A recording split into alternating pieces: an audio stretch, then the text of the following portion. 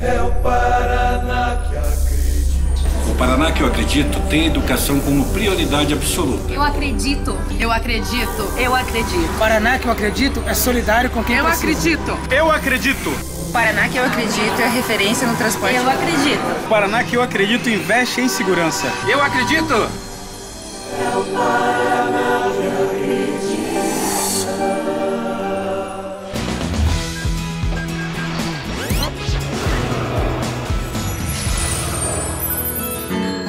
Manter boa forma física é uma aspiração de quase todo mundo, não é mesmo?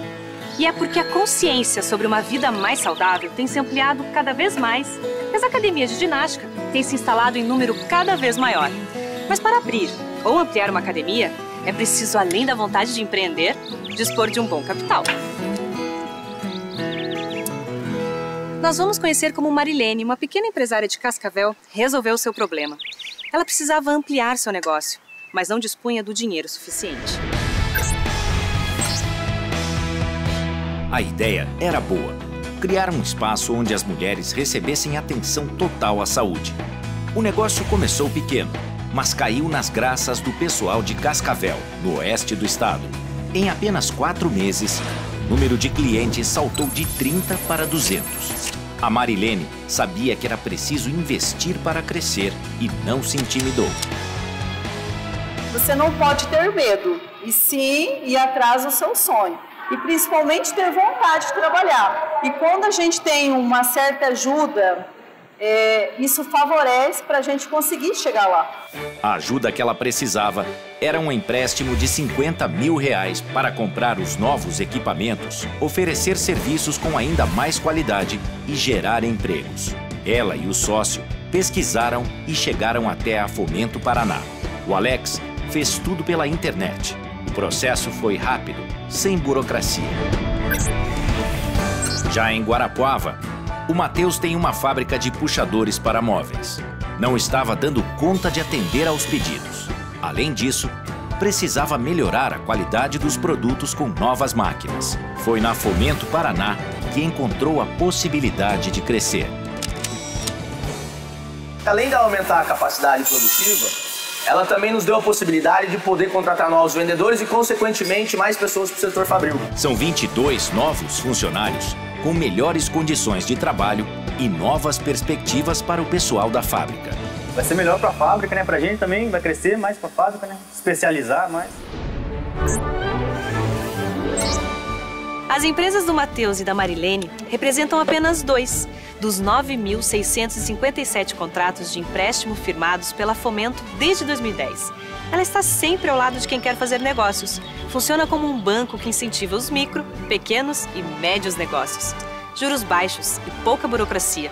Tudo que o empreendedor precisa para fazer o negócio crescer, aumentar o faturamento e gerar mais empregos, como a gente viu aí. Outra linha de crédito da Fomento Paraná é aquela que financia a compra de táxis, a linha Taxistas.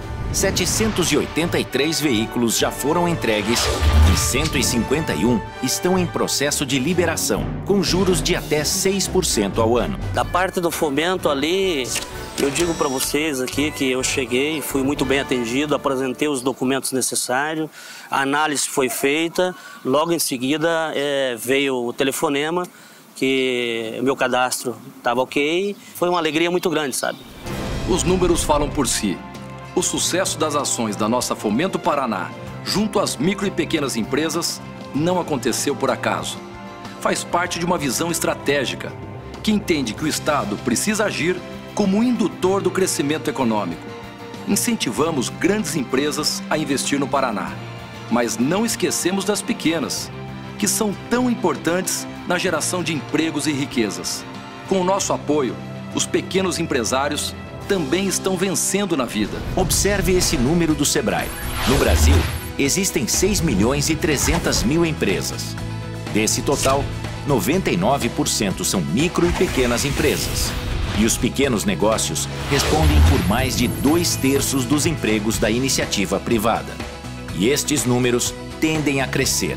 Essa é a força das micro e pequenas empresas no nosso país e no nosso estado. Por isso, o foco da Fomento nos micro e pequenos. Seus empréstimos, voltados para as pequenas e médias, cresceram mais de 11 vezes desde o final de 2009. Atendendo a esse empreendedor, ele buscando a sua renda, melhorando a sua renda, é, ampliando a sua atividade, nós teremos aumento de emprego, melhor economia e, obviamente, diminui a pressão social, porque quanto mais renda tiver a família paranaense, menor será a demanda nas filas da área social. Hoje, a Fomento é o Banco do Paraná. Esse crescimento só foi possível com a criação de uma estrutura moderna de atendimento. O empréstimo já pode ser levantado pela internet. São essas ações que contribuem para a construção de um modelo de desenvolvimento regional, que estimulam a geração de empregos por todas as regiões do Estado e reduzem as desigualdades. Segundo a Confederação Nacional da Indústria e o SEBRAE, isso garante hoje ao Paraná o melhor ambiente do Brasil para micro e pequenas empresas se desenvolverem. Com muita vontade e determinação, vamos continuar incentivando cada vez mais o empreendedorismo dos paranaenses. É nesse Paraná que eu acredito. Pela estrada, rumo certo, percorrendo o Paraná. Riso franco, peito aberto, Beto vem nos visitar. O Paraná tem 399 cidades. Cada uma com seu jeito, suas necessidades, seus sonhos. E Beto Richa esteve em cada uma delas. Ele esteve em Uniflor no dia 5 de julho de 2013. Uma pessoa bem humilde, bem simpática, como o pai dele. Tirei a foto, tá no Face, agora vai ficar para sempre, né? De recordação. Em Almirante Tamandaré, no dia 26 de outubro de 2011. Não parecia ser o governador.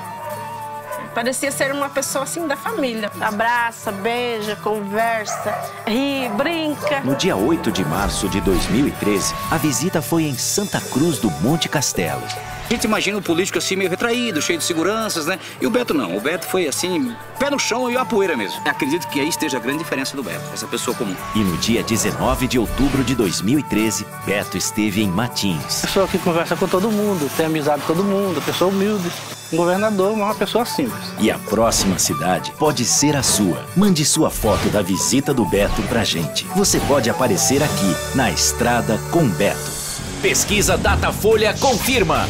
Beto Richa cresce e dispara na liderança, muito à frente dos outros candidatos que caem. Beto já tem 44% dos votos. É mais do que a soma de todos os adversários. Beto Richa governador, na frente em todas as pesquisas. É o Paraná que acredita cada vez mais na frente, a caminho da vitória.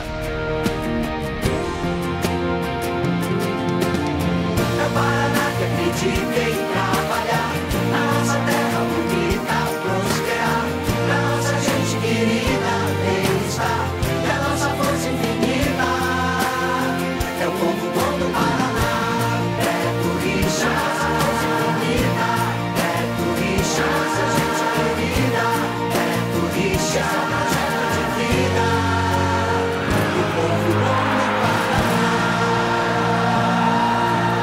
Beto Richa 45, o Paraná que acredita.